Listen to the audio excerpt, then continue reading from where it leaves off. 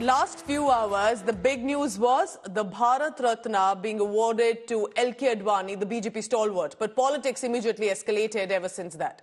Several opposition leaders have slammed the government at the centre for the move. The Congress party's Jairam Ramesh recalled two incidents where Advani referred to Prime Minister Modi as a good event manager. AIMIM chief Asaduddin Owaisi also jumped in and claimed that the government at the centre is sending out a wrong message by awarding the Bharat Ratna, which is the highest civilian honour, to Advani because several people died at locations where he took his Rath Yatra from in the 90s. Now, the attacks did not stop there. Samajwadi Party's leader saw the decision through the prism of Lok Sabha elections, claiming that this was just uh, for upcoming general elections and to garner more votes. RJD's Manoj Jha also claimed that Advani was the creator of this whole Mandir Masjid dispute and that's why Bharat Ratna to Advani is a wrong move and a wrong signaling.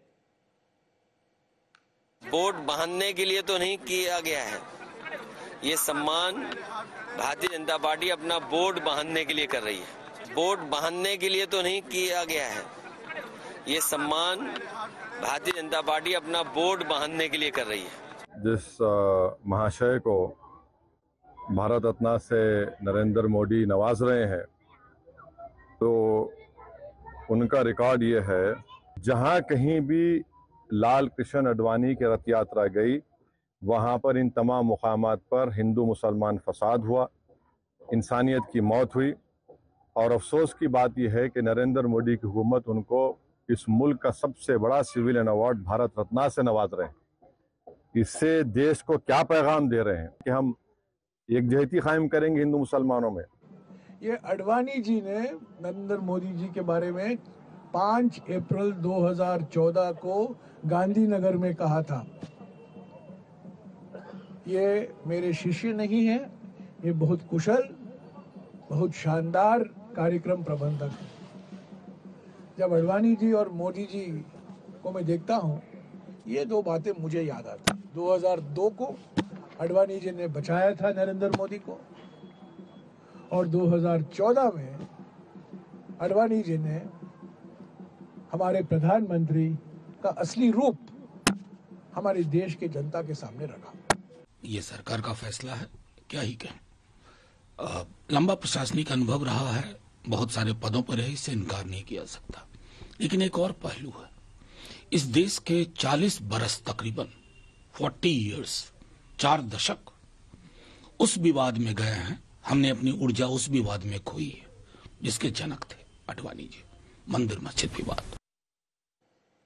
So the big announcement that came, BJP stalwart LK Advani will now be conferred with the Bharat Ratna. Prime Minister Modi also announced it on a social media post and shared two photographs of him with Advani, calling it a very emotional moment. Prime Minister hailed Advani's contribution to the development of India. Murli Manohar Joshi, another BJP stalwart, also met LK Advani later at the residence, wishing him congratulations. Here's a special report of what this announcement means. Narendra Modi government is conferring the nation's highest civilian award upon veteran BJP leader Lal Krishna Advani. While announcing the Bharat Ratna for Advani, the Prime Minister said it's a very emotional moment for him. The Prime Minister hailed Advani's life, work and political ethics. Advani's family has thanked the Prime Minister and the Modi government. बहुत खुशी है मुझे भी पूरे परिवार को कि दादा को इतना बड़ा सम्मान देश का सर्वोच्च सम्मान मिला है उन्होंने अपना पूरा जीवन देश की सेवा में लगाया इसके लिए वो बहुत खुशगुजार हैं और प्रधानमंत्री श्री नरेंद्र मोदी का धन्यवाद करते हैं I would like to thank the Honorable Prime Minister Shri Narendra Modi ji for conferring this award on my father. My father has been in public life for many decades and his contribution to public life has been immense. And it is wonderful to note that at this stage of his life, his efforts are being recognized in this magnificent way. Congratulatory messages poured in from across the political spectrum.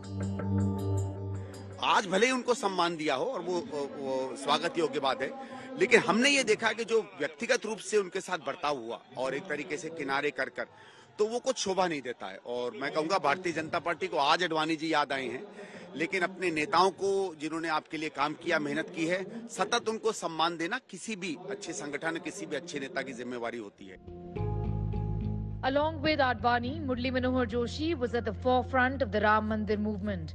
He met Advani at his residence and wished him for being conferred upon with the prestigious Bharat Ratna.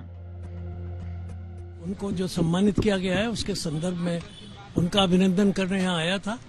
और उनके सम्मान से हमें व्यक्तिगत तौर पर और देश के लाखों करोड़ों लोगों को इससे बहुत आनंद हुआ है। और उसी की अभिव्यक्ति करने में उनके पास आया था। Born on the 8th of November 1927, Lal Krishna Advani grew up in a Sindh. His patriotic ideals inspired him to join the RSS at the mere age of 14. Advani had taken out a Rath Yatra in the year 1990, demanding the construction of a Ram temple at the disputed site in Ayodhya. He became the face of the Ram Janmabhoomi movement during the 90s. This movement catapulted the BJP from a mere two seats in 1984 to eventually winning power at the centre. He also played a pivotal role in establishing the BJP in the 1980s alongside Atal Bihari Vajpayee. Advani was also a minister in the Muraji Desai government in 1977. Lal Krishna Advani. He became the number two in the government headed by Vajpayee. He served as the Minister of Home Affairs in the Vajpayee government. In recent years, he had quit active politics due to health issues. Bureau Report, India Today.